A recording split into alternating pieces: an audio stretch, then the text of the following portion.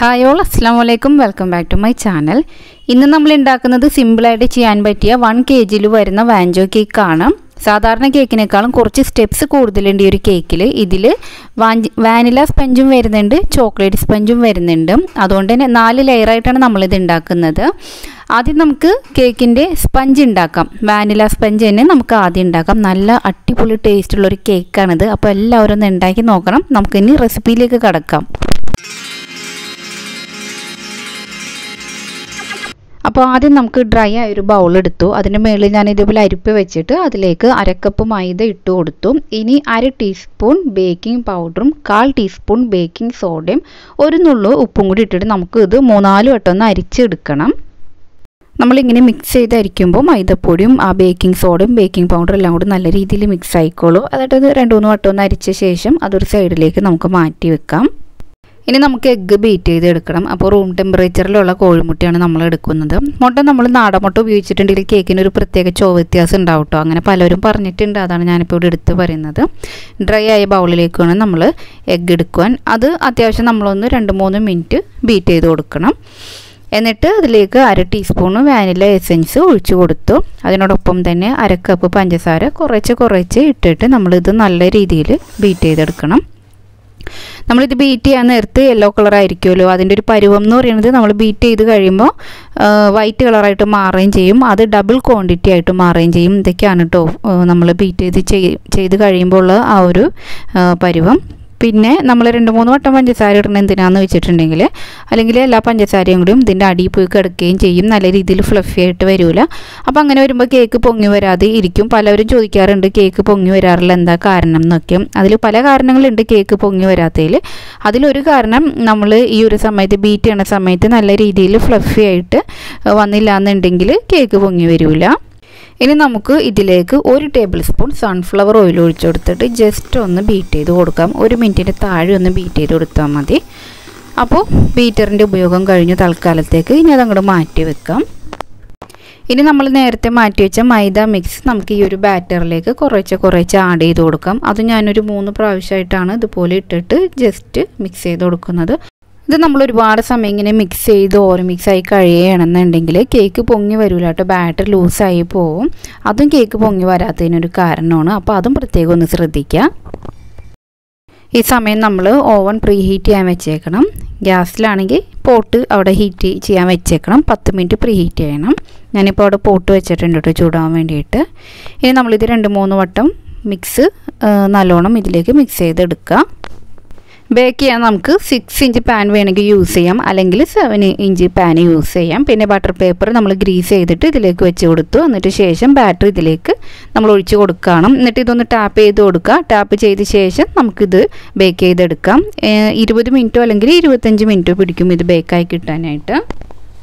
ഏകദേശം ഇരുപത്തഞ്ച് മിനിറ്റ് ആയപ്പോഴേക്കും ഞാനിത് ബേക്കായോ നോക്കാൻ വേണ്ടി സ്ക്യൂർ വെച്ച് നോക്കി. അപ്പോൾ സ്ക്യൂറിൽ ഒട്ടി പിടിക്കണമൊന്നുമില്ല നമ്മൾ നടുഭാഗത്ത് വേണം കേട്ടോ സ്ക്യൂർ വെച്ച് നോക്കാൻ വേണ്ടിയിട്ട്.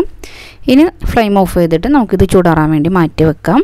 ഇനി നമുക്ക് ചോക്ലേറ്റ് സ്പഞ്ച് ഉണ്ടാക്കണം. അതിന് നമ്മൾ നേരത്തെ എടുത്തതുപോലെ തന്നെ അര കപ്പ് മൈദ എടുത്തു. എന്നിട്ട് ഇതിൽ നിന്നിട്ടും രണ്ട് ടേബിൾ സ്പൂൺ മൈദപ്പൊടി നമ്മൾ മാറ്റി വെക്കണം.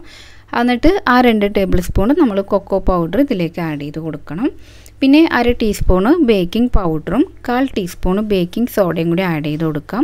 പിന്നെ ഒരു നുള്ളു ഉപ്പിടാം. പിന്നെ ഒരു ടേബിൾ സ്പൂൺ കോഫി പൗഡർ കൂടി ചേർത്ത് കൊടുത്താൽ നല്ല ടേസ്റ്റ് ഉണ്ടാവും കേട്ടോ അപ്പോൾ ഞാൻ ഒരു ടേബിൾ സ്പൂൺ കോഫി പൗഡറും കൂടി ഇട്ട് കൊടുത്തു. ഇനി നമുക്കിത് നല്ലോണം അരിച്ചെടുക്കണം. രണ്ട് മൂന്ന് പ്രാവശ്യം അരിച്ചെടുക്കാം. എന്നിട്ട് അതൊരു സൈഡിലേക്ക് മാറ്റി വെക്കാം. ഇനി നമ്മൾ നേരത്തെ തയ്യാറാക്കിയതുപോലെ തന്നെ എഗ്ഗ് ബാറ്റർ അതേ അളവിൽ തന്നെ തയ്യാറാക്കി എടുക്കുക.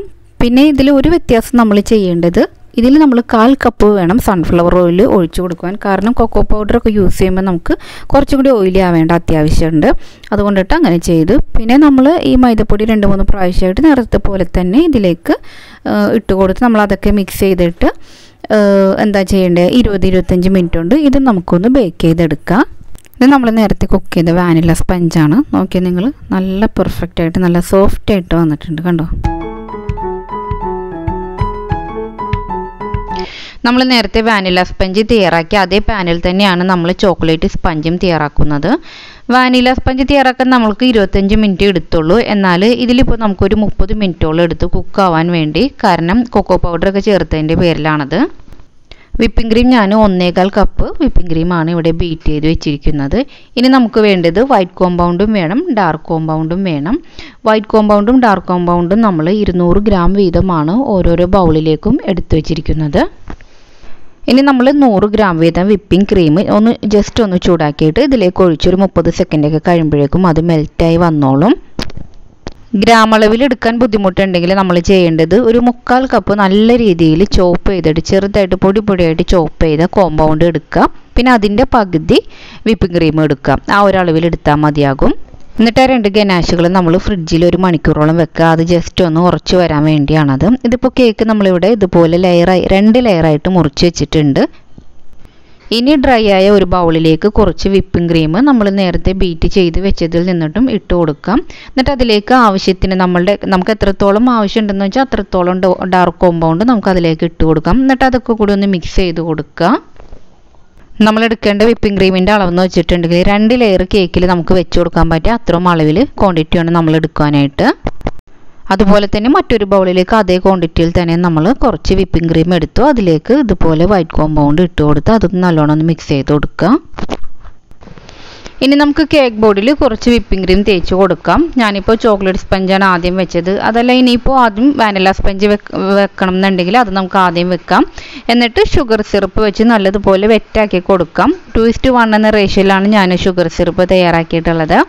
ഇനി നമുക്ക് ഡാർക്ക് കോമ്പൗണ്ട് മിക്സ് ആക്കിയ വിപ്പിംഗ് ക്രീമാണ് അപ്ലൈ ചെയ്യേണ്ടത്. അതിനുശേഷം നമുക്ക് ഡാർക്ക് കോമ്പൗണ്ട് ഗനാശ് ഒഴിച്ച് നല്ല ടേസ്റ്റ് കൂട്ടാൻ വേണ്ടി നല്ലതാണ്. ഇനി നമുക്ക് ഇതിന്റെ മേളിൽ വാനില സ്പെഞ്ച് വെച്ച് കൊടുക്കാം. എന്നിട്ട് നല്ല രീതിയിൽ ഷുഗർ സിറപ്പ് കൊണ്ട് വെറ്റാക്കി കൊടുക്കാം. ഇനി നേരത്തെ വൈറ്റ് കോമ്പൗണ്ട് മിക്സ് ചെയ്ത ആ വിപ്പിംഗ് ക്രീം അപ്ലൈ ചെയ്ത് കൊടുക്കാം. ശേഷം ടേസ്റ്റ് കൂട്ടാൻ വേണ്ടി നമുക്ക് കുറച്ച് വൈറ്റ് ചോക്ലേറ്റ് ഗണാശും കൂടി ഒഴിച്ച് കൊടുക്കാം. ഇനി ചോക്ലേറ്റ് സ്പഞ്ച് വെച്ച് കൊടുക്കാം. ഷുഗർ സിറപ്പ് അപ്ലൈ ചെയ്യാം. ഡാർക്ക് കോമ്പൗണ്ട് മിക്സ് ചെയ്ത വിപ്പിംഗ് ക്രീം അപ്ലൈ ചെയ്യുക പിന്നെ എന്താണ് ഗനാഷ് ഒഴിച്ചു കൊടുക്കുക. ഈ ഒരു സ്റ്റെപ്പ് ഇതുപോലെ തന്നെ റിപ്പീറ്റ് ചെയ്ത് കൊടുക്കുക. ഇനി ലാസ്റ്റ് വരുന്ന വാനില സ്പഞ്ച് അതും കൂടി വെച്ച് കൊടുക്കാം. എന്നിട്ട് ഷുഗർ സിറപ്പ് വെച്ച് അപ്ലൈ ചെയ്യുക. എന്നിട്ട് ഇനി അതൊന്ന് ക്രം കോട്ട് ചെയ്ത് കൊടുക്കുക. ക്രം കോട്ട് ചെയ്ത് കൊടുത്തു കഴിഞ്ഞിട്ട് ഒരു അരമണിക്കൂർ ഫ്രിഡ്ജിൽ ഒന്ന് വെക്കുക. സെറ്റ് ആവാൻ വേണ്ടിയിട്ട്. ഇതിപ്പോൾ അരമണിക്കൂർ ഫ്രിഡ്ജിലിരുന്ന് സെറ്റായ കേക്കാണ് ഇനി നമുക്കിതിൽ നല്ല രീതിയിൽ വിപ്പിംഗ് ക്രീം അപ്ലൈ ചെയ്ത് കൊടുക്കാം. ഇപ്പം നമ്മൾ നല്ല രീതിയിൽ വിപ്പിംഗ് ക്രീമൊക്കെ അപ്ലൈ ചെയ്തിട്ടുണ്ട്. ഇനി നമുക്കിതൊരു അരമണിക്കൂർ കൂടി ഫ്രിഡ്ജിൽ വെച്ച് ഒന്നും കൂടിയും ഒന്ന് തണുക്കാൻ വേണ്ടി വെക്കണം. പത്ത് മിനിറ്റിന് ശേഷം നമ്മൾ പുറത്തേക്ക് എടുത്തു. ഇനി നമുക്കിതിന്റെ മേളിൽ വൈറ്റ് ചോക്ലേറ്റ് ഗനാഷോ അല്ലെങ്കിൽ ഡാർക്ക് ചോക്ലേറ്റ് ഗനാഷോ നിങ്ങൾക്ക് ഏതാണ് ഏറ്റവും കൂടുതൽ ഇഷ്ടം എന്ന് വെച്ചാൽ അത് നമുക്ക് അപ്ലൈ ചെയ്ത് കൊടുക്കാം. ഇത് ഞാനിപ്പോൾ ടു ഈസ് ടു വൺ റേഷ്യോയിലാണ് എടുത്തിരിക്കുന്നത്. കേക്കിന്റെ പ്രിപ്പറേഷനൊക്കെ കഴിഞ്ഞിട്ടുണ്ട്. പിന്നെ ഡെക്കറേഷൻ ചെയ്യുന്നത് നമുക്ക് ഓരോരുത്തരുടെയും ഇഷ്ടാനുസരിച്ച് ചെയ്യാവുന്നതാണ്. ഞാനിതിപ്പോൾ വെറുതെ ഡാർക്ക് ഡാർക്ക് കോമ്പൗണ്ട് ഗനാഷ് ഒഴിച്ച് കൊടുത്തു. എന്നിട്ട് വൈറ്റ് കോമ്പൗണ്ട് ഇട്ടിട്ട് ചുമ്മാ ലൈൻസ് ഒക്കെ ഇട്ട് കൊടുത്തതേ ഉള്ളൂ. ഇനി നമുക്കിത് ഒന്നോ രണ്ടോ മണിക്കൂർ ഫ്രിഡ്ജിൽ വെച്ച് തണുപ്പിച്ച ശേഷം സെറ്റായിട്ട് യൂസ് ചെയ്യാം. നല്ല അടിപൊളി ടേസ്റ്റുള്ളൊരു കേക്കാണ് ഇതെല്ലാവരും ട്രൈ ചെയ്യണം.